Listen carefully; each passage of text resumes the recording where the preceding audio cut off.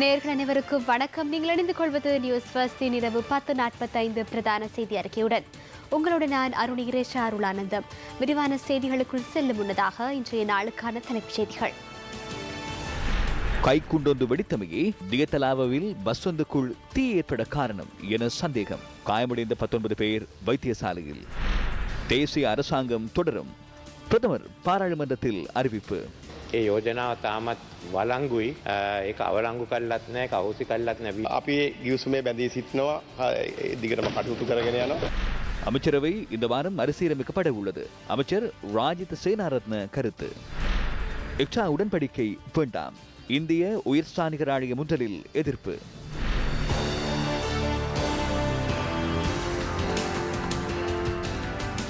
இனி விரிவான செய்திகள்.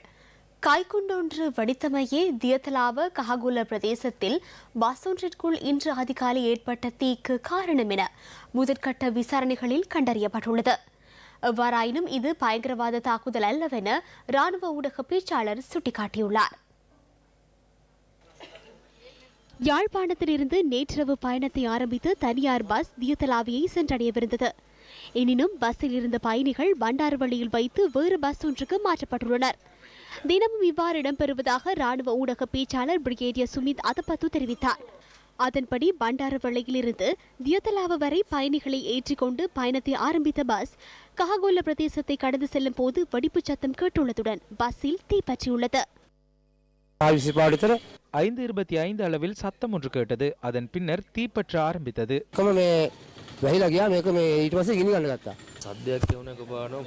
திடீரென சத்தம் கேட்டது. தொலைபேசி ஒன்று விழுவதைப் போன்று சத்தம் கேட்டது. அதன் பின்னர் தீப்பற்றியது அவ்வளவே நினைவில் இருக்கிறது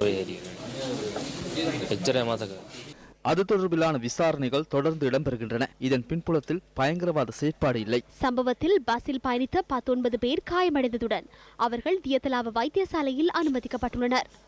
அவர்களில் ஏழு ராணுவ வீரர்களும் ஐந்து விமானப்படை வீரர்களும் பொதுமக்கள் ஏழு பேரும் அடங்குகின்றனர். இரண்டு ராணுவ வீரர்களின் நிலைமை கவலைக்கிடமாக இருப்பதாக வைத்தியசாலையின் பணிப்பாளர் குறிப்பிட்டார். அவர்களில் ஆறு பேருக்கு சத்திர சிகிச்சை மேற்கொள்ளப்பட்டது. வெடிப்பினால் ஏற்பட்ட காயம் காரணமாகவே அவர்கள் வைத்தியசாலையில் அனுமதிக்கப்பட்டுள்ளனர். ஒரு ராணுவ வீரரின் கால் அகற்றப்பட்டுள்ளது. இதேவேளை இந்த சம்பவம் தொடர்பில் பிரதமர் மற்றும் விடயத்திற்கு பொறுப்பான அமைச்சர் ஆகியோர் பாராளுமன்றத்தில் இன்று கருத்து தெரிவித்தனர். ராணுவ தளபதியுடன் பேசினேன். கிரனைட் என நினைப்பதாக அவர் கூறினார். அதன்படி செயற்படுவதாக அவர் தெரிவித்தார். யாழ்ப்பாணத்தில் இருந்து வருகின்ற போது பலரது பொதிகள் இருக்கலாம் என்பதால் விசாரணைகள் இடம்பெறுகின்றன. தொடர்ந்தும் விசாரணைகள் இடம்பெறுகின்றன. அரச பகுப்பாய்வு நடவடிக்கைகள் ஆரம்பிக்கப்பட்டுள்ளன. அதன் பின்னர் இது தொடர்பில் கூற முடியும். பஸ் வண்டியில் பயணித்த ஒருவரின் பொதியில் இருந்த கிரனைட் வெடித்ததன் காரணமாகவே இந்த சம்பவம் இடம்பெற்றுள்ளதாக தற்போது நம்பப்படுகின்றது.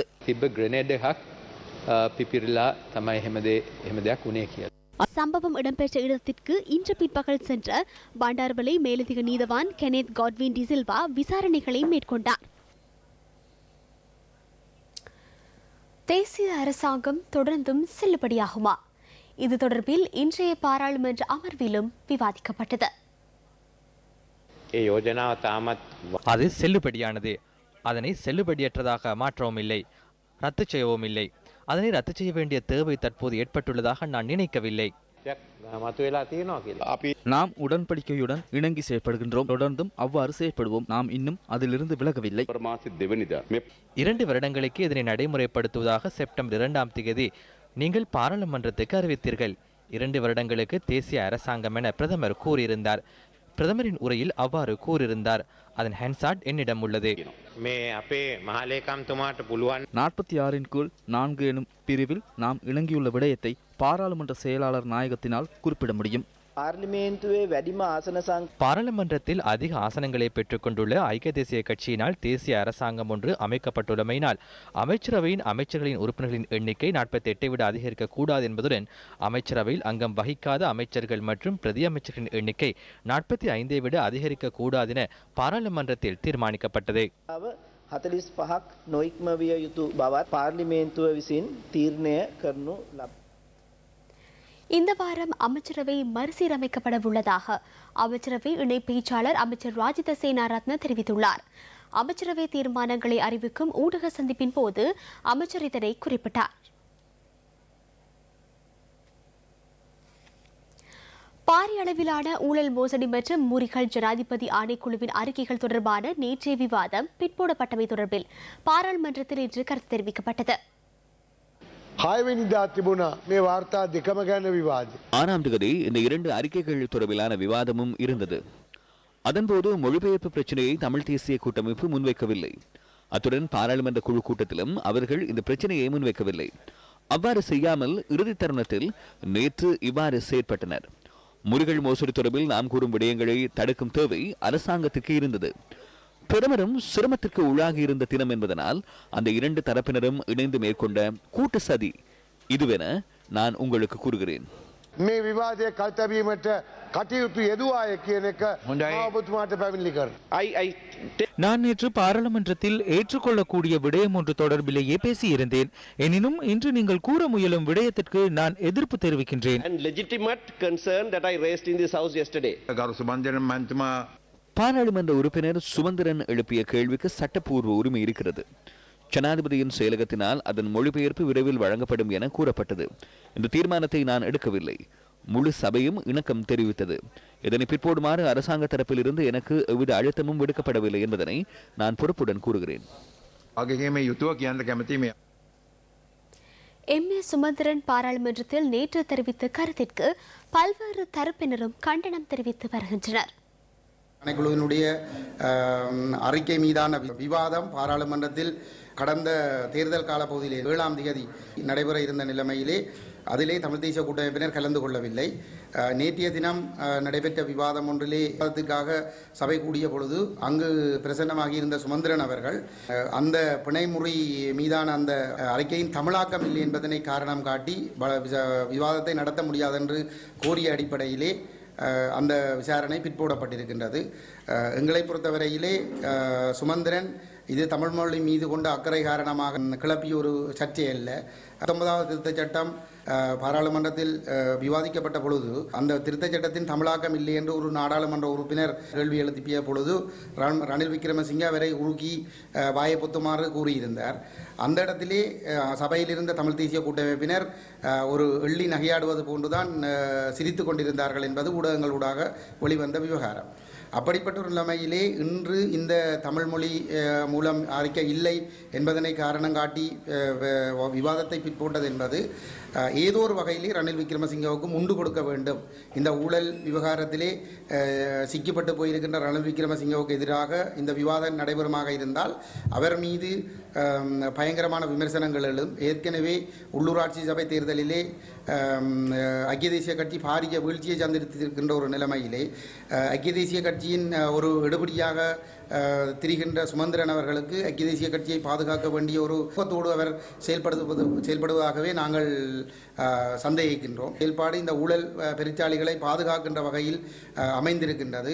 தமிழரசு கட்சியை பொறுத்தவரையில் ஆரம்பத்திலிருந்து அவர்கள் இந்த அரசாங்கத்தை பாதுகாக்க வேண்டும் என்பதில் முனைப்பாக செயற்பட்டு வருகின்றார்கள்.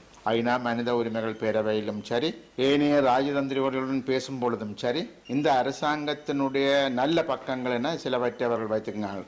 ஒரு குறிக்கப்பட்ட அளவு காணிகளை விடுவித்திருக்கிறார்கள் என்று கூறுவதும் குறிக்கப்பட்ட அளவு அரசியல் கைதிகளை விடுவித்திருக்கிறார்கள் என்று கூறுவது போன்று இந்த அரசாங்கத்துக்கு நற்சான்று பத்திரங்கள் வழங்குவதில் தான் இவர்கள் முதன்மையாக செயற்படுகின்றார்கள். அந்த வகையில்தான் இந்த தமிழ் மொழிபெயர்ப்பு இல்லாமல் நாங்கள் இதனை விவாதிக்க முடியாது என்று கூறுவதனூடாக இந்த முக்கியமான இந்த விவகாரத்தை இப்பொழுது பாராளுமன்றத்தில் எடுக்காமல் அதை ஒத்திவைப்பதற்கு காரணகர்த்தாக்களாகவும் இவர்கள் இருக்கின்றார்கள். இதற்கு முன்பு பல அறிக்கைகள் வந்திருக்கின்றன. தமிழ் மொழிபெயர்ப்பு இல்லாத அறிக்கைகளும் முதல் வந்திருக் வந்திருக்கின்றது. அவ்வாறான சந்தர்ப்பங்கள் எல்லாம் இவர்கள் கண்மூடி இருந்திருக்கின்றார்கள். அது மாத்திரமல்லாமல் அரசாங்கத்துக்கு சாதகமாகவும் நடந்திருக்கின்றார்கள். அதற்கு துணை போவது போல சுமந்திரனும் இதனை காரணம் காட்டி தமிழ் மொழிபெயர்ப்பு இல்லை ஆகவே நாங்கள் விவாதிக்க முடியாது என்று கூறுவது.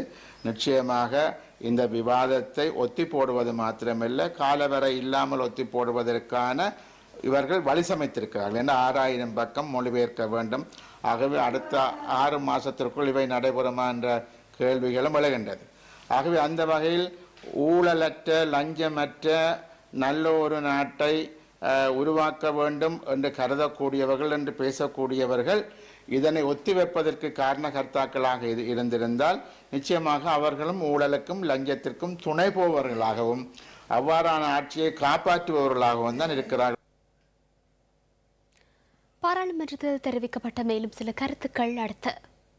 இன்று கொண்டு வரப்பட்டதான கொண்டு வரப்படுகின்ற இந்த மோட்டார் போக்குவரத்து திருத்த சட்டம் டிஜிட்டல் மயப்படுத்தப்பட்டிய பல விஷயங்களை பற்றி பேசுகிறோம். ஆனால் இன்று கிராமப்புறங்களை எடுத்துக்கொண்டால் எத்தனையோ அடிமட்ட கிராமங்களிலே போக்குவரத்து வசதிகளை அனுபவிக்காமல் எத்தனையோ கிராமங்கள் இருக்கின்றன. இலங்கை போக்குவரத்து சபையினுடைய பஸ் வண்டிகளையே காணாத எத்தனையோ கிராமங்கள் இருக்கின்றன.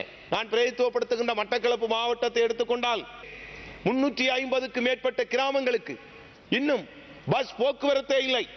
இன்னும் பலவிதத்திலும் பல்வேறு துறை சார்ந்து ஏமாற்றங்களையே அனுபவித்துக் கொண்டிருக்கின்றார்கள். இவ்வாறான ஏமாற்றங்களை தொடர்ச்சியாக இரண்டரை மூன்று வருடங்கள் இந்த மக்கள் அனுபவித்தால்தான் உங்களுக்கு தெரியும். இன்று பாரிய பின்னடைவை இந்த அரசாங்கம் கிராமப்புறங்களிலே சந்தித்திருக்கிறது. ஊழல்வாதிகள் சட்டத்தை முன் நிறுத்தப்பட வேண்டும் என்று கூறிக்கொண்டு வந்த இந்த நல்லாட்சியிலே இரண்டரை வருஷத்துக்குள்ளே நான் நினைக்கின்ற இலங்கை வரலாற்றிலேயே பல்லாயிரக்கணக்கான கோடி ரூபாய்கள் மத்திய வங்கியிலே இன்று மோசடி செய்யப்பட்டிருக்கின்றன. சற்று சிந்தித்து பாருங்கள். முன்னே அரசாங்கமாக இருக்கலாம். அல்லது ஊழலை ஒழிப்போம் என்று சொல்லிக் கொண்டு வந்த இந்த நல்லாட்சி அரசாங்கமாக இருக்கலாம். மாறி மாறி இந்த அரசாங்கங்களால் மேற்கொள்ளப்படுகின்றதானே.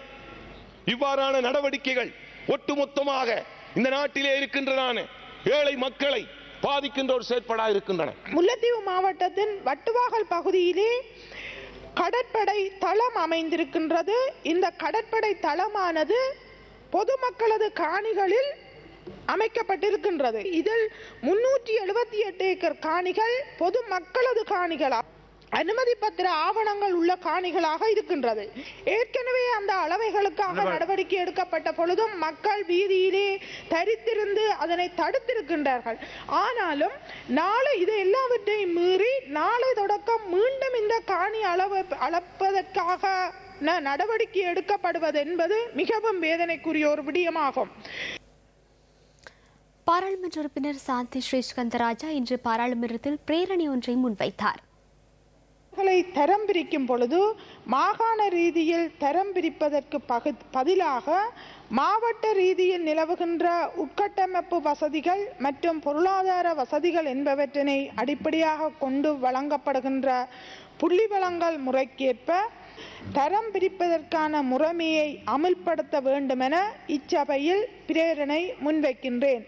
பாடசாலை கல்வி சந்தர்ப்பங்களை வழங்கும் போது விசேடமான அந்தந்த பாடசாலைகளில் நிலவும் வசதிகளை கவனத்தில் கொண்டு உரிய வகைப்படுத்தல் மேற்கொள்ளப்படும். எனவே பிரதேச ரீதியான வசதியான வ- வசதிகளை கவனத்தில் கொண்டு பாடசாலைகளை வகைப்படுத்தும் முறைகளை இந்த சுற்று நிருப விதிமுறைகளின் ஊடாக மாகாணத்திற்கு வழங்காற்றப்பட்டிருப்பதனால் மீண்டும் மாவட்ட ரீதியான வகைப்படுத்தல் அவசியப்படாது என்றும் சொல்லப்பட்டிருக்கின்றது. நிதியமைச்சு இதில் சம்பந்தப்பட்டிருக்கின்றதனால் நிதியமைச்சனுடைய அங்கீகாரத்திற்கு அப்பால் இதை செய்ய முடியும் என்பதை நான் இந்த சபைக்கு தெரிவித்துக் கொள்ள விரும்புகின்றேன்.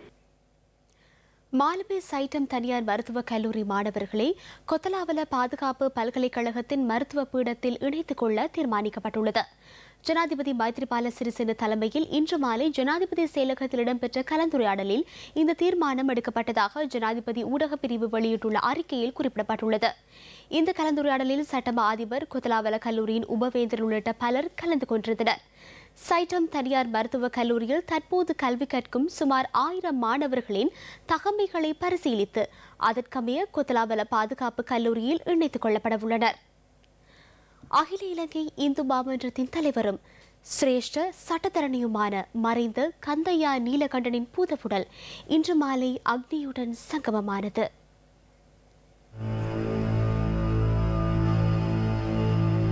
பம்பலப்பிட்டியவில் அமைந்துள்ள அன்னாரது இல்லத்தில் வைக்கப்பட்ட பூத உடலுக்கு அரசியல்வாதிகள் பொதுமக்கள் உள்ளிட்ட பலர் இன்று இறுதி அஞ்சலி செலுத்தினர்.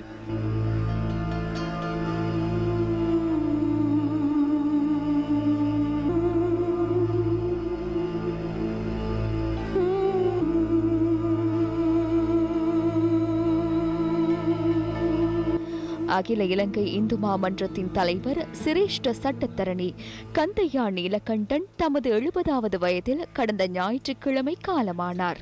இறக்கும்போது திருக்கேதீஸ்வர ஆலய திருப்பணி சபையின் தலைவர் இந்து வித்யா அபிவிருத்தி சங்கத்தின் செயலாளர் ஆகிய பதவிகளையும் அவர் வகித்து வந்தார்.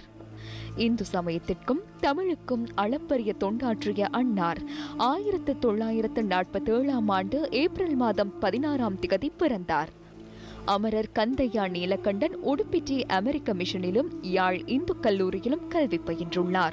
அதன் பின்னர் இலங்கை சட்டக் கல்லூரியில் இணைந்த அவர் ஆயிரத்து தொள்ளாயிரத்து அறுபத்தி ஒன்பதாம் ஆண்டு பட்டம் பெற்றார்.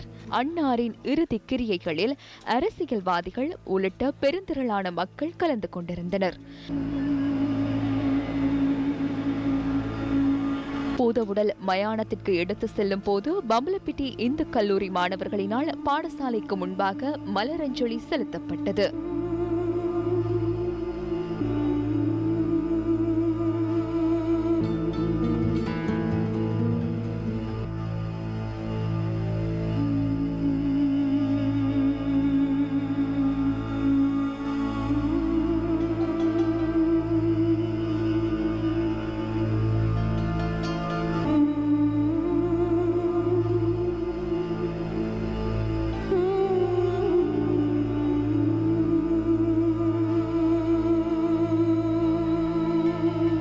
பின்னர் மறைந்த கந்தையா நீலகண்டனின் பூதவுடல் பொருளை மயானத்திற்கு எடுத்து செல்லப்பட்டு தகனம் செய்யப்பட்டது.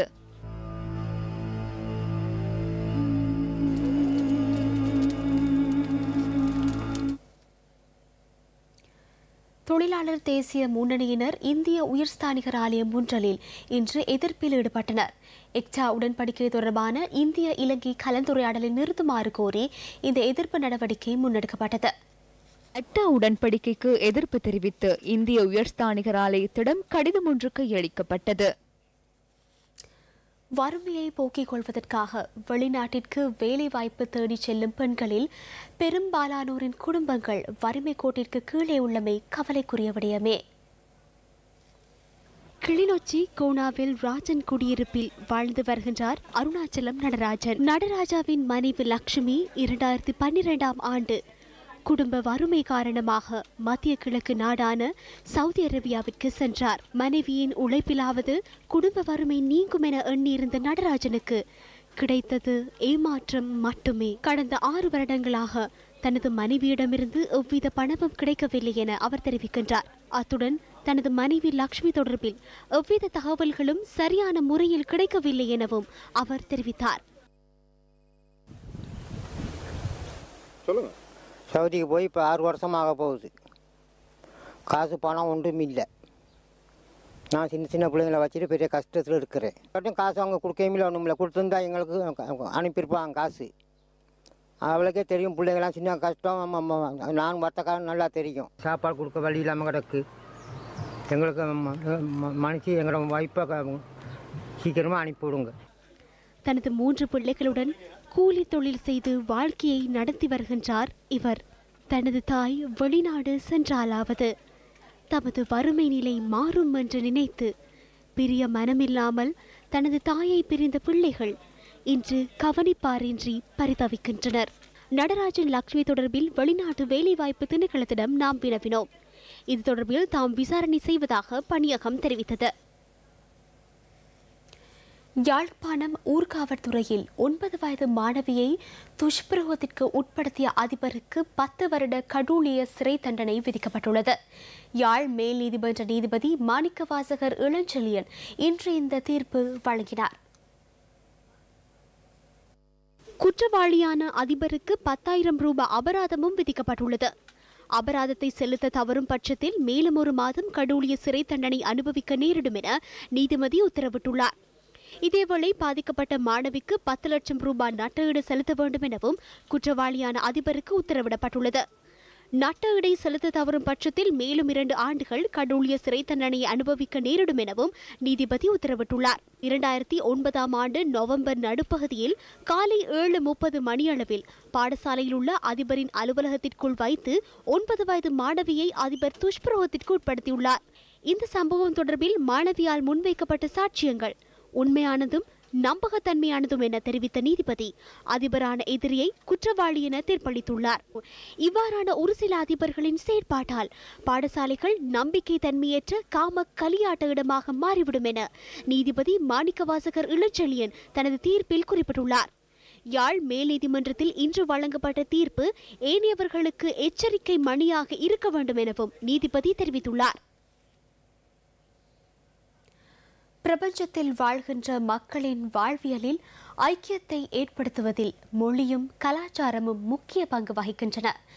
சர்வதேச தாய்மொழி தினம் இன்றாகும்.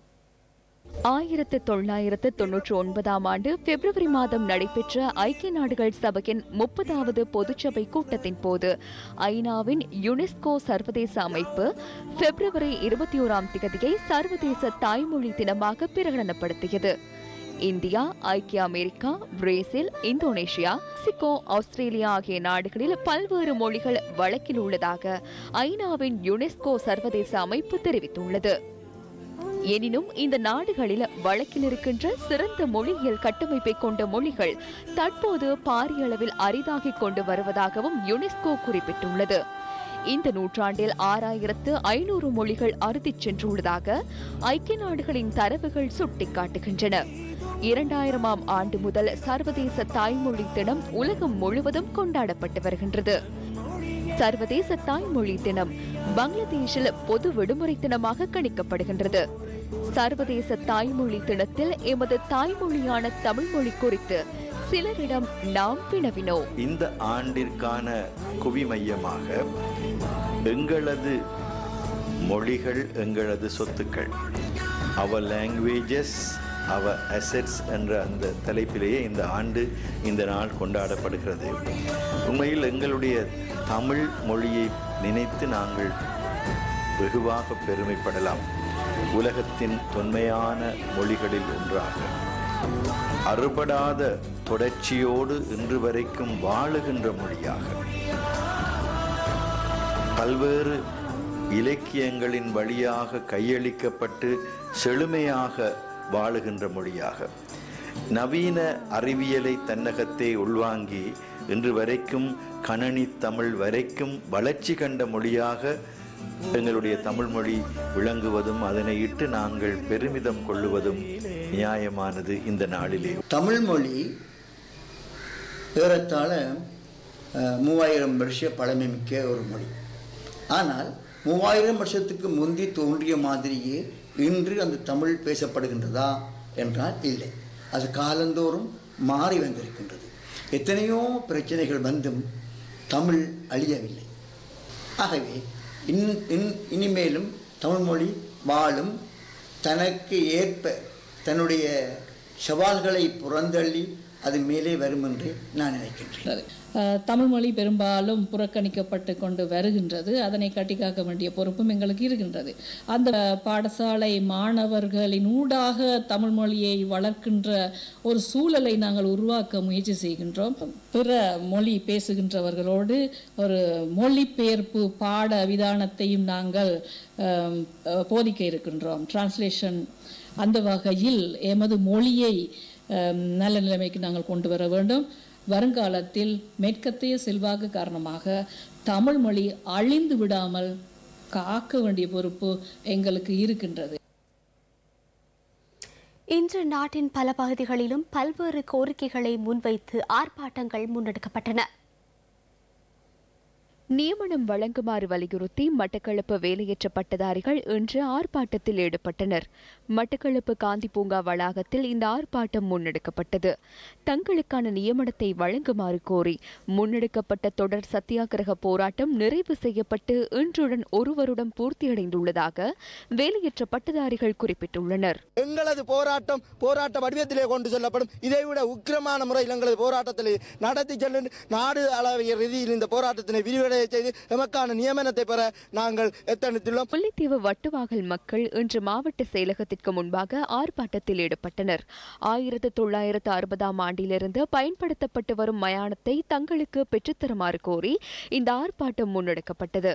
இதன்போது ஆர்ப்பாட்டத்தில் ஈடுபட்டவர்கள் மாவட்ட அரசாங்க அதிபரிடம் மகஜர் ஒன்றையும் கையளித்தனர். சுடலி என்பது எங்களுக்கு ஒரு பெரிய பிரச்சனை அல்ல. இவர்கள் எங்களுக்கு இந்த எல்லை நிர்ணயிப்பதன் மூலம் நாங்கள் இலகுவாக அந்த சுடலைக்குரிய பிரச்சனையை அடைய முடியும். யாழ் பல்கலைக்கழகத்திற்கு முகாமைத்துவ உதவியாளர்களை புதிதாக நிர்வாகத்தினர் இணைத்துக் கொள்வதற்கு எதிர்ப்பு தெரிவித்து இன்று யாழ் பல்கலைக்கழக ஊழியர் சங்கத்தினரால் ஆர்ப்பாட்டம் ஒன்று முன்னெடுக்கப்பட்டது. இன்றும் நாளையும் இந்த நேர்முக தேர்வு இடம்பெறவிருந்த நிலையில் தொழிற்சங்கத்தினர் எழுத்து மூலம் பல்கலைக்கழக நிர்வாகத்தினருக்கு தெரியப்படுத்தியிருந்தனர். எனினும் நிர்வாகத்தால் இன்று யாழ் திறந்த பல்கலைக்கழகத்திற்கு இந்த நேர்முக தேர்வு மாற்றப்பட்டு அங்கு தேர்வினை மேற்கொள்வதற்கான ஒழுங்குகள் இடம்பெற்றன. இதனை அறிந்த ஊழியர் சங்கத்தினர் அங்கு சென்று பிரதான வாயிலில் கூடி எதிர்ப்பை வெளியிட்டதாக எமது பிராந்திய செய்தியாளர் தெரிவித்தார். இதேவேளை பல்கலைக்கழக கல்விசாரா ஊழியர்களுக்கும் நிர்வாகத்தினருக்கும் இடையில் ஏற்பட்ட முறுகல் நிலை இன்று மாலை நடைபெற்ற கலந்துரையாடலின் பின்னர் தற்காலிகமாக முடிவுக்கு கொண்டுவரப்பட்டுள்ளது. நேர்முக தேர்வு நடத்த முற்பட்ட விதமானது மனிதாயமான சக்தி எஃப்எம் நடாத்தும் வானொலி கல்லூரி பாடசாலை மாணவர்களுக்கான மற்றொரு பயிற்சி பாசறை யாழ்ப்பாணத்தில் இன்று இடம்பெற்றது. சக்தி எஃப்எம் நடாத்தும் வானொலி கல்லூரி சேலமர்வு. கொக்குவில் இந்து கல்லூரியில் இன்று நடைபெற்றது. வானொலி ஒலிபரப்பு துறைசார் அனுபவங்களை மாணவர்களுடன் பகிர்ந்து கொள்ளும் நோக்கிலும் மாணவர்களுக்கு தலைமைத்துவ வழிகாட்டல்களை வழங்கும் நோக்கிலும் பாடசாலைகள் தோறும் சக்தி எஃப்எம் இந்த திட்டத்தை முன்னெடுத்து வருகின்றது. இன்று இடம்பெற்ற நிகழ்வுகளில் சக்தி எஃப்எம் அலைவரிசை பிரதானி அபர்ணா சுதன் உள்ளிட்ட சக்தி எஃப்எம் அறிவிப்பாளர்கள் கலந்து கொண்டிருந்தனர். இந்தியாவின் விசாகப்பட்டினத்தில் தமது ஊழியர் ஒருவரை பாலியல் துஷ்பிரயோகத்திற்கு உட்படுத்திய இலங்கை அதிகாரி ஒருவர் விளக்கமறியலில் வைக்கப்பட்டுள்ளார். விசாகப்பட்டினம் அச்சுதபுரம் விசேட பொருளாதார வலயத்தில் பொது முகாமையாளராக தொழில் புரியும் இலங்கையர் ஒருவரே இவ்வாறு விளக்கமறியலில் வைக்கப்பட்டுள்ளதாக இந்திய ஊடகங்கள் செய்தி வெளியிட்டுள்ளன. குறித்த அதிகாரி நீதிமன்றத்தில் ஆஜர்படுத்தப்பட்டதன் பின்னர் விளக்கமறியலில் வைக்கப்பட்டுள்ளார். மல்லாகபுரத்தில் உள்ள தமது வீட்டில் வைத்து குறித்த அதிகாரி ஊழியரை துஷ்பிரயோகத்திற்கு உட்படுத்தியுள்ளார். பின்னர் பாதிப்புக்குள்ளான பெண்ணின் நடத்தை தொடர்பில் குற்றம் சுமத்தி அவரை பணி நீக்கம் செய்துள்ளார். பாதிக்கப்பட்ட பெண் தமது நிலை தொடர்பில் மேலதிகாரிகளிடம் முறையிட்டதை அடுத்து அவர்களாலும் குறித்த பெண் துஷ்பிரயோகத்திற்கு உட்படுத்தப்பட்டதாக விசாரணைகளில் தெரியவந்துள்ளது. இதனையடுத்து மேலும் இரு அதிகாரிகள் கைது செய்யப்பட்டுள்ளதாக இந்திய செய்திகள் தெரிவிக்கின்றன. கிளிஃபர்ட் கிண்ணர் ரக்மி தொடரில் கண்டி மற்றும் கடற்படை கழக அணிகள் இறுதிப் போட்டிக்கு தகுதி பெற்றன. கண்டி கலகாணி முதல் அரையிறுதிப் போட்டியில் சிஆர்என்எக்சி அணியை பல்லேக்கலை மைதானத்தில் எதிர்கொண்டது. போட்டியின் ஆரம்பம் முதலே சவாலாக விளையாடிய கண்டி கலகாணி இருபத்தி இரண்டுக்கு ஏழு எனும் புள்ளிகள் கணக்கில் முதல் பகுதியில் முன்னிலை வகித்தது. இரண்டாம் பகுதியில் கண்டி கலகாணி பதினாறு புள்ளிகளையும் எதிராளியான சிஆர்என்எக்சி அணி பத்தொன்பது புள்ளிகளையும் பெற்றன. எவ்வாறாயினும் இறுதியில் முப்பத்தி எட்டுக்கு இருபத்தி ஆறு எனும் புள்ளிகள் வித்தியாசத்தில் கண்டி கலகாணி வெற்றியீட்டியது. இரண்டாவது அரையிறுதிப் போட்டியில் கடற்படை அணியுடன் ஹெவ்லக்ஸ் கலகாணி பல பரீட்சை நடத்தியது. கொழும்பு குதிரை பந்தய திடலில் நடைபெற்ற இந்த போட்டியில் முதல் பகுதியில் இரண்டு அணிகளும் தலா பனிரெண்டு புள்ளிகளை பெற்றன. இரண்டாம் பகுதியில் கடற்படை அணி பதினாறு புள்ளிகளையும் ஹெவ்லக்ஸ் அணி பதினான்கு புள்ளிகளையும் பெற்றன. இறுதியில் இருபத்தி எட்டுக்கு இருபத்தி ஆறு எனும் புள்ளிகள் கணக்கில் கடற்படை கழக அணி வெற்றி பெற்றது.